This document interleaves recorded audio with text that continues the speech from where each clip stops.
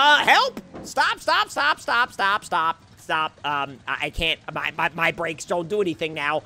Hello and welcome back to Off-Road Outlaws, y'all, and in one of my previous Off-Road Outlaws videos, one of my recent Off-Road Outlaws videos, we ran this Nova around a trophy truck course on slick tires and a setup that was not intended for trophy truck courses at all, and it got me wondering, how fast would this thing be in the mud if we put mud tires on it. So today, that is what we're going to do, and we're going to see if it's faster than one of my fastest vehicles that I have ever built. And that is what we're going to be doing for the rest of this video. And the actual build isn't really going to be all that in-depth. I'm literally going to take this exact setup and swap out the tires. That's it. I'm going to put probably these paddle spec tires on it, and these absolutely shred in the mud. They're faster in the mud than pretty much any other tire that I have ever tested. So we're going to go ahead and apply those.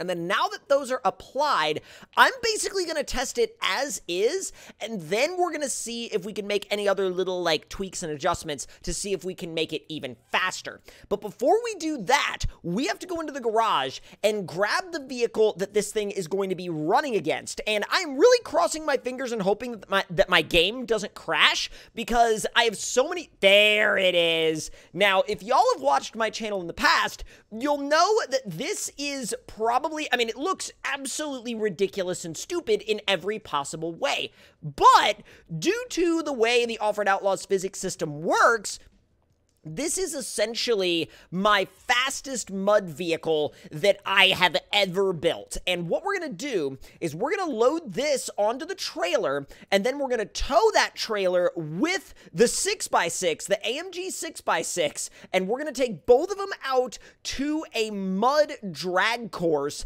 and we're going to see genuinely which one appears to be faster. Now, one of these is actually going to be, one of these is probably going to be faster, but I don't imagine it'll be faster by that much. I'll be really surprised if it is. So we're going to do a couple of adjustments, but it's going to be five times drone speed, no vehicle damage, and NOS, but that's going to be it. We are not turning on uh, extra grip. We are not modifying the grip at all. This is the way that this like that the grip model would be for literally anybody. So we're going to jump into TC's quick race with both vehicles and we're going to see what these are all about. I'm still thinking that the AMG 6x6 is probably going to have it by a little bit, but I don't think it's going to have it by much. I mean, if the uh if the freaking Nova blows it out of the water, I will be absolutely shocked. Now, we're going to do a run without nitrous and then a run with nitrous just to kind of compare and contrast and see how... Whoa, okay. These wacky suspension setups were not built for towing trailers. All right, we're going to go ahead and detach and we're going to set our baseline run in this just to see what we're up against. So let's go ahead and get this thing lined up real quick. Whoa, easy. Get you backed up. All right, three, two, one, let's go. I mean, it's already properly quick, and this isn't even a fully refined suspension setup. I could make this suspension setup a lot better. I just haven't, like, torn it apart and really figured it out yet. So let's go. Ooh, easy there. Not bad, though. Not a bad run whatsoever. Little bit iffy at the end. We did kind of hit that last bump in it. What the? I've never done that before. I don't know why it did that, especially right there. That was really odd. But, like, I mean, I'm not mad about it. I'm just confused. Easy. And spin it around. Well, or not. I grabbed a whole bunch of handbrake, and it did not want to spin around. I don't know why. All right, now it's time for the Nova. And oh, I love how instead of driving off of the trailer, the Nova just shoves the trailer out from underneath it. That's beautiful. I don't know. This thing might have a faster run in it. I mean, it's really low to the ground, but for some reason, I'm not imagining that'll hold it back. All right, three, two, one, let's go. Holy crap. Oh my god! That suspension, though! I don't know if it's faster, though. I don't think it's... Oh, God. I don't think it's faster. I, I really don't think it is. Like, it's very quick, but I don't think it's faster. However, I think we could make it faster for sure. Like, I think we can make it faster down that course if we spent a little bit of time in the tuning, and that is what we're about to do now. However, let me hop out of this thing real quick because there's a bunch of birds. Like, a bunch. Hello! Do I get anything from that? Well, I mean, obviously I get something, but do I get anything, like, worthwhile, or is it just gonna be, like, what? Like a grand? I knew it! I knew it. The game loves to do that to me. What do you bet that one's going to be like a bunch? Specifically because it's like all the way on the other side of what we were doing. All right, let's hop back in. Let's head on over there, just see what we got for that bird, and then we're going to go back to the shop. Oh, God, ow. Come on, Ooh, easy. And stop. All right, what about this one? Another one? Really? Another, like, grand? Sheesh, they're really, like, stingy with these birds today. All right, let's go ahead and change up the setup on the Nova and see if we can get it to be a little bit more mud-focused. We're about to get really, really dumb. So let's see. Wheel radius is already a 0.7 in the front. We're going to bring it down to a mm, 0.5. Oh, no. Wheel radius in the back is going to come down to a 0.6. This is where I think if you are bothered by stuff like this, you should probably click away because it's not going to get any better. Now, let's see. Gear tuning, we might need to uh, mess with this just a little. First gear is going to... Oh, God. All right, yeah, these are going to get a lot shorter. Oh, we're about to give this thing proper, like, mud drag tuning. 1, 1, and point, uh, point 9. That should be, that should be about there. That should work. Now, suspension tuning.